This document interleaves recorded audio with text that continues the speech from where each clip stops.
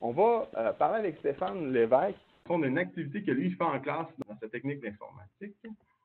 Donc, euh, ben, peut-être Stéphane, dans un premier temps, est-ce que tu peux te présenter toi? Ben, bonjour tout le monde. Euh, ben, je suis Stéphane Lévesque et je suis un prof d'info.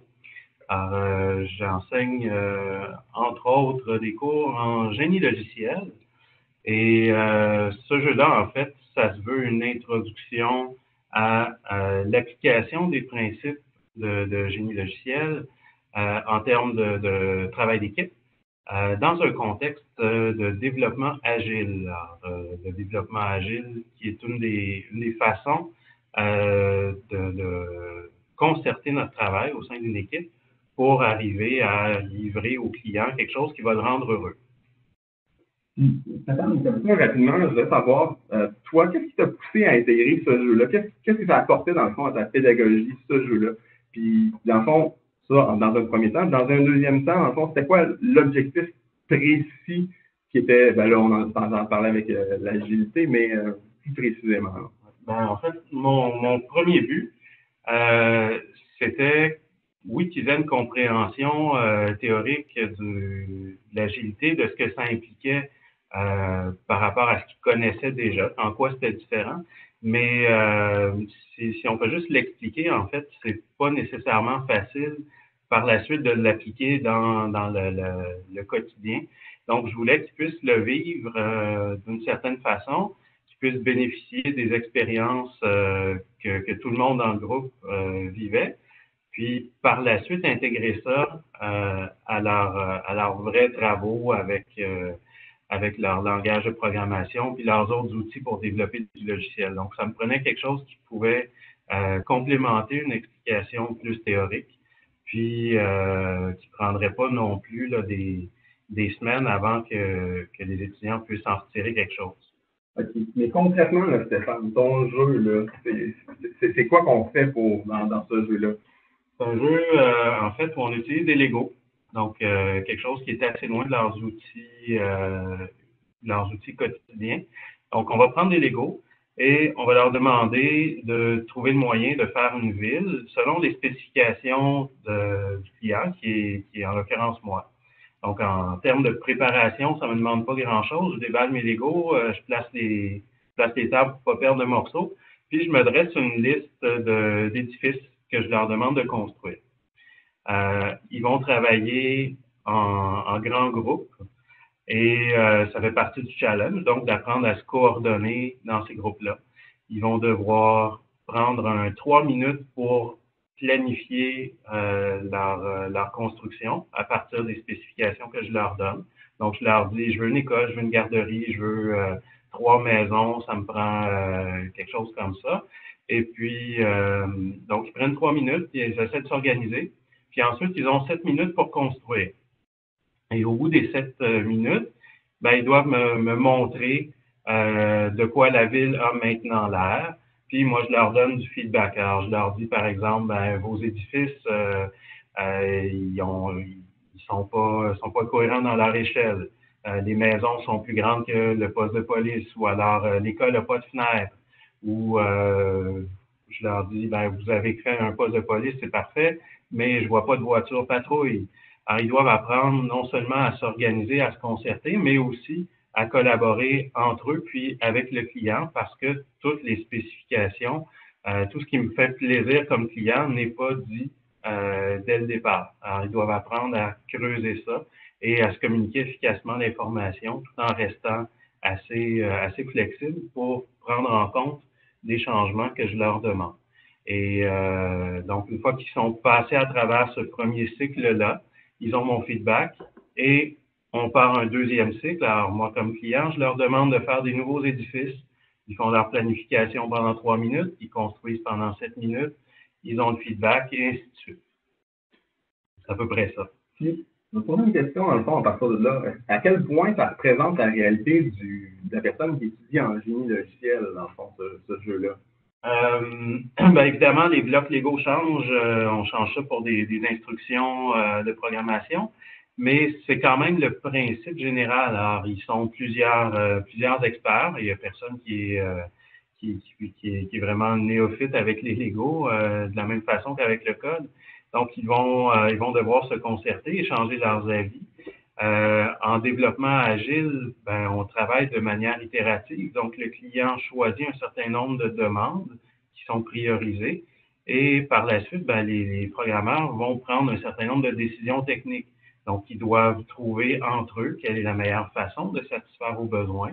Ils doivent aller valider leur compréhension avec le client, poser des questions, s'assurer pour que, tout ça finalement forme un tout qui va être cohérent, qui respecte un certain nombre de règles communes. Et ils doivent s'adapter. Alors, des fois, les étudiants défendent des constructions parce que le nouveau besoin du client euh, rend vétuste une partie du travail qu'ils ont fait. Ben, c'est la même chose en code. Alors, les, besoins changent, ben, des fois, on doit défaire une partie. Fait dans la dynamique, c'est assez proche de ce qu'ils vivent en projet. Évidemment, c'est pas sur, euh, sur 10 minutes, c'est sur euh, une semaine ou 10 jours, mais euh, c'est sensiblement les mêmes, les mêmes enjeux. Parfait. Si je comprends bien, dans le fond, c'est que le jeu que tu proposes à tes étudiants permet de proposer une abstraction, une simplification du développement traditionnel qu'on a en génie logiciel. Euh, les Lego, c'est une belle façon de simplifier tous euh, les enjeux qu'on trouve dans ce, dans ce contexte-là, puis dans le fond, de mettre l'accent dans ce contexte-là vraiment sur les interactions sociales avec les, le client proprement dit et aussi, dans le fond, avec le, le, entre eux autres. Euh, ça, ça, ça, ça, semble être très intéressant, c'est ça. Euh, juste une autre question comme ça. Donc, je vois que euh, tu parlais que ça permet euh, de, de, bâtir la coopération. Euh, est-ce que tu vois des, des, des, des, avantages à court et à moyen et à long terme à l'utilisation de ce jeu-là? Est-ce que tu as remarqué, dans le fond, que ce jeu-là aidait tes étudiants euh, dans le fond, est-ce que ce qu'on énonce, ce qu'on voit, mais est-ce qu'eux ont parlé de certaines composantes qui ont vu qui, qui est intéressant pour eux? Ben, d'avoir le plaisir de jouer avec des Legos. En fait, euh, ça arrive fréquemment qu'ils me demandent à la fin de la session, quand il reste un petit peu de temps, ben, OK, peux-tu rapporter tes Legos? On aurait le goût de faire d'autres choses avec. Euh, mais au-delà du, plaisir euh, enfantin qu'ils retrouvent, en fait, ça, casse souvent la glace de faire ce, ce, cet exercice-là parce qu'ils n'ont pas le réflexe d'aller poser souvent des questions. Alors, ça vient peut-être avec un peu la, la, la, personnalité type des informaticiens, là, sans tomber dans les clichés, mais euh, ils, vont, ils vont se concentrer beaucoup sur la solution. Alors, le fait qu'ils apprennent euh, à, à, creuser davantage pour avoir plus d'informations, ben, ça fait que par la suite, ils conservent un petit peu mieux ce réflexe-là. Euh, ils font plus attention à se donner des conventions entre eux, donc à, à, se donner un peu des règles du jeu au sein de leur équipe. Et puis, euh, ben, ça, ça, renforce déjà juste l'esprit d'équipe. Donc, quand ils sont, quand ils, se subdivisent, parce que construire à 20 ou à 30, c'est un peu difficile, ils vont se spécialiser, euh, se, se, former des équipes pour prendre en charge tel ou tel édifice, ben, ils vont faire un peu la même chose quand ils vont se subdiviser le travail, dire, bon, ben, moi, je travaille sur telle fonction, j'ai besoin d'aide, il y a quelqu'un qui va venir avec moi. On, on, se concentre là-dessus, puis après ça, on revient attaquer une autre tâche, donc en, en sous-groupe. Ça développe leur capacité à synchroniser, puis ben, effectivement, je vois, un, je vois cet effet-là euh, qui, qui, qui, porte fruit finalement, là, qui, dont ils retirent un bénéfice ça met en place une habitude qu'ils peuvent cultiver par la suite. Parfait. Euh, super.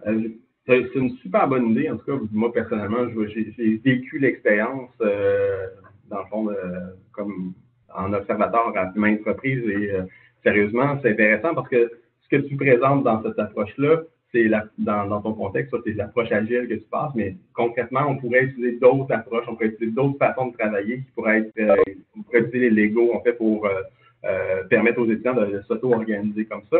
Euh, je veux savoir, en fait, euh, aussi, c'est c'est une très bonne idée. Puis cette idée-là, dans le fond, est-ce que ça c'est toi qui l'as conçu de rien? Comment comment t'es arrivé avec ce jeu-là?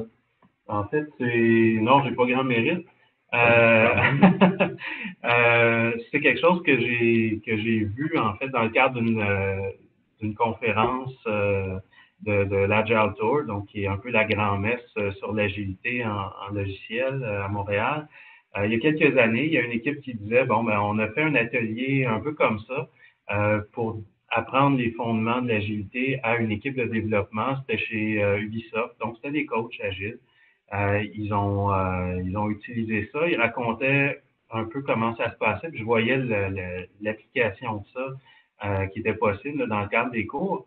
Fait je me suis renseigné un peu. C'est euh, facile à trouver euh, sur le web. donc, un petit Google euh, Lego Scrum, euh, ça, permet de tomber rapidement dessus. Alors, il suggérait même quel numéro de, kit Lego acheter. Fait que j'ai passé la commande. C'est probablement la première fois qu'on commandait des Lego au collège. une fois que j'ai expliqué pourquoi, que c'était pas juste pour m'amuser dans mon bureau j'ai eu mon matériel, puis euh, tout ce que j'ai eu adapté, en fait, c'est euh, pour que ça prenne une, période euh, de deux heures et que ça fonctionne avec un plus grand groupe. Donc, faire un petit peu plus d'itération, demander plus de choses, puis inciter davantage sur le fait qu'ils doivent se coordonner en grande équipe, parce que quand on fait ça dans une équipe en entreprise, ben souvent on a euh, 6 à 10 personnes. Alors que là, je fonctionne avec un groupe qui peut aller jusqu'à 23, 24 facilement. Donc, c'était plus une question de l'adapter euh, pour, euh, pour les besoins, euh, les besoins d'une classe. Là. Mm-hmm. C'est ça. Sinon, ça ne demande pas particulièrement de, de, de cabriole. C'est un exercice qui se prépare en 15 minutes. C'est réglé. Mais ce qui intéressant, en fait, tu disais, je ne sais pas réinventer quoi que ce soit, non, mais tu l'as intégré à ta pédagogie? Puis ce qui est intéressant, c'est de voir que, dans le fond, il existe des jeux dans les entreprises euh, pour la formation des équipes. dans le fond, tout ce qui est pour les compétences transversales, il y a, il y a un, beaucoup euh, dans le fond de ressources qui sont disponibles et des communautés de pratiques qui, sont, qui existent autour de ça. Et toi, tu es allé dans une communauté de pratique dans le fond sur l'agilité. Euh, tu as réussi dans le fond à vraiment euh, identifier quelque chose qui serait intéressant. Euh, tu l'as as joué avec. Dans le fond, ce que tu dis, c'est que aussi euh, ça t'a pris probablement plusieurs fois pour arriver à la version que, que tu satisfait maintenant. parce que dans le fond, on s'entend faire un jeu, il faut accepter nous-mêmes de jouer avec notre jeu. Euh, des fois, il faut mettre les étudiants aussi dans le coup. Est-ce que quand tu as fait ton jeu, euh, tu as dû mettre tes étudiants dans le coup pour euh, te donner des conseils pour t'aider à améliorer le jeu? Euh, comment comment tu as amélioré ton jeu aussi? Ben, en fait, j'ai appliqué la même recette. À la fin, je leur ai demandé leur feedback. Je leur ai demandé ce qu'ils en avaient retenu, ce qu'ils avaient apprécié, ce qu'ils verraient comme amélioration potentielle. Puis euh, au fil euh, au fil de l'eau, oui, c'est ça, je l'ai euh, je l'ai raffiné, mais en fait, j'ai pas eu besoin d'ajuster tant que ça pour qu'il continue à, à, atteindre des objectifs finalement. Ce que j'ai fait comme, comme amélioration, ben, je leur ai donné un peu plus de moyens, je leur ai mis un chronomètre bien visible, je leur ai passé des crayons, du papier, des post-it, mais c'est plus en en termes de matériel et de facilité logistique que de, de changements fondamentaux à l'esprit. Euh, puis j'avais vu aussi d'autres euh, d'autres jeux qui pouvaient être complémentaires euh, en atteignant d'autres objectifs. Par exemple, en entreprise, on va faire ça euh, ben, pour stimuler la, créativité, pour, euh, pour amener les gens dans des, zones qui fréquentent moins au quotidien. ben, j'ai à des ateliers où on leur donne euh, un, petit sac de Lego et puis de façon individuelle, par exemple, on leur dit, bon, ben, vous devez, en utilisant seulement les Faire une construction qui illustre, je sais pas, la collaboration ou quelque chose de très, très abstrait ou émotif comme le, le, partage ou l'indécision ou l'assurance. c'est c'est assez inconfortable. Puis là, tout d'un coup, euh, il y a une idée qui nous vient en tête, ça, fonctionne. Ça aussi, je l'ai fait avec des étudiants. Puis, euh, en termes d'exercice, de, de, créativité, ben oui, ça fait euh, ça fait travailler le cerveau d'une manière qui n'est pas habituée. Puis, des fois, ça ça, ça, déclenche des, des, surprises agréables quand les gens reviennent dans le code. Bon, ben merci beaucoup. Cas, c'est vraiment intéressant cette approche-là. Ce qui est c'est donc euh, un apprentissage un peu comme on avait vu dans euh, Institute of Play l'heure. Donc, on, on apprend en faisant Et euh, l'intérêt aussi, je pense, de, de, de, cette euh, type de pédagogie-là, c'est vraiment qu'on est basé sur la réflexion. Les étudiants vont s'auto-organiser, puis vont pouvoir réfléchir et rapidement, dans le fond, trouver des solutions à leurs problèmes. C'est cette abstraction-là qu'on voit avec les Lego euh, qui permet, dans le fond, de faire euh, beaucoup en très peu de temps. Donc, en deux heures, euh, on peut vivre l'équivalent d'un projet normalement qui prend une session en génie logiciel, puis voir les mêmes, les mêmes débats, les mêmes conflits. Donc, c'est quelque chose qui est, pour moi, porteur de beaucoup, beaucoup, beaucoup d'apprentissage.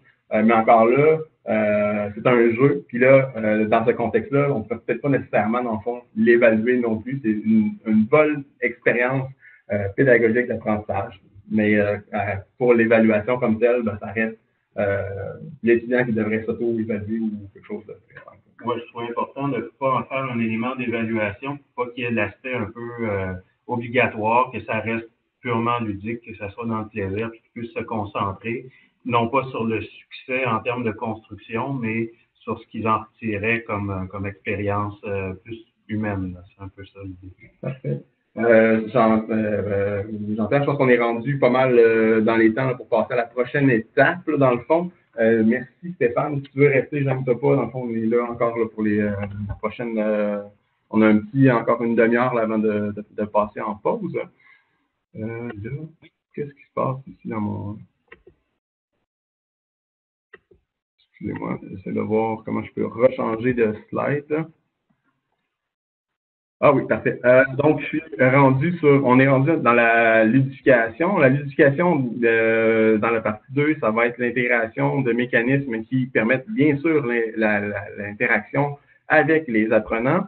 Euh, puis, dans le fond, il va y avoir l'intégration d'une technologie tierce. Euh, cette technologie-là, dans le fond, peut être, des fois, dans certains contextes, certaines personnes vont utiliser des feuilles de papier pour faire euh, pour regarder la progression des euh, apprenants. D'autres fois, il va y avoir des applications dédiées. Euh, dans ce qu'on va voir dans quelques minutes, on va avoir une application qui va être avec H5P et pluguée avec Moodle. Donc, dans un, environnement numérique d'apprentissage pour, dans le fond, médier, dans le fond, ces, ces activités-là. Euh, l'éducation, dans le fond, on utilise des mécaniques de jeu sans nécessairement être en jeu.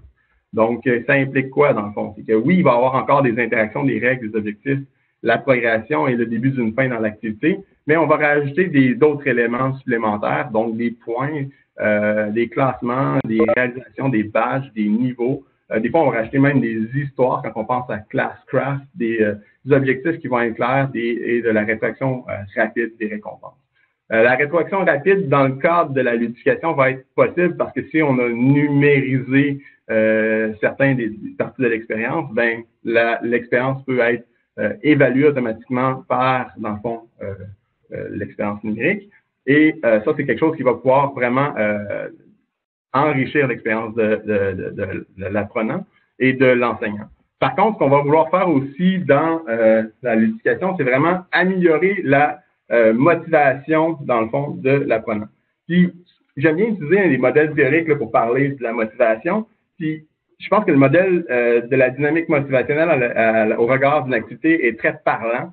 Euh, ça nous permet de voir que, dans le fond, la motivation, c'est l'activité et la perception de cette activité-là par l'apprenant qui donnent des conséquences, donc l'engagement cognitif et la persévérance dans les apprentissages. Et pour avoir, dans le fond, la perception, dans le fond, euh, positive euh, d'une expérience d'apprentissage, il faut que l'apprenant ait une perception positive, donc de la valeur de l'activité. Euh, il faut que aussi, comme on parlait tout à l'heure, quand on parlait du flux, il faut que sa compétence soit en lien avec cette activité-là. Et un truc qui est très difficile dans la pédagogie, c'est que l'étudiant, normalement, devrait être en mesure d'être, de contrôler un peu l'expérience. Donc, ces trois variables-là euh, vont généralement vraiment aider euh, l'engagement, la motivation de, des apprenants. Euh, puis, on doit comprendre en fait que aussi la perception, dans le fond, de ces différentes expériences-là qu'on va faire va, va, être différente selon les types d'apprenants que vous allez avoir. Donc, dans la, la, littérature, on voit que dans le fond, il y a différents types d'apprenants, puis il y a différents types de mécaniques qui vont être utilisées pour les stimuler. Donc, ici, vous avez l'exemple de Gamification UK. dans lequel, euh, dans le fond, on montre les types de joueurs. Donc, est-ce que c'est une personne qui est un joueur, quelqu'un qui euh, joue pour performer? Est-ce qu'on a une personne qui est une personne qui est là pour socialiser? Est-ce qu'il y a une personne qui est là pour un peu euh, mélanger les cartes, dans le fond, une personne qui va être un esprit libre et une personne qui va donc vraiment, comme on dit, arriver à des, arriver à des résultats. Donc, concrètement, les différents, vos, apprenants ont différents types de euh, d'approches quand ils vont jouer, ils vont percevoir les jeux, et il y a différentes mécaniques qui peuvent être utilisées. Donc, encore une fois, quand vous allez établir les objectifs de vos éléments euh, de l'éducation, vous pouvez penser à établir des objectifs qui vont être, oui, définitivement spécifiques, mesurables, surtout dans le, dans le contexte de l'éducation. Vous allez voir tout à l'heure, euh, dans le fond, euh, avec que Jessica euh, va présenter, on voit qu'il y a des mécaniques qui vont pouvoir justement mesurer des éléments qui sont facilement atteignables, qui sont réalistes et sont limités dans le temps. Donc, en faisant cette logique-là, en respectant cette logique-là dans, dans, la motivation des apprenants, vous allez être plus en mesure de les stimuler. Euh, une chose que je vous ai mis, puis dans le fond, je vais les mettre en référence, c'est dans la littérature scientifique, commence à avoir des synthèses, euh, dans le fond, des mécaniques de jeu, de ce que vous pouvez faire pour obtenir des, euh, dans le fond, des résultats très, très précis. Donc, ben, vous allez pouvoir avoir ces éléments-là en, ressources euh, pour vous aider si vous souhaitez intégrer, en fond, euh, l'éducation dans vos composants.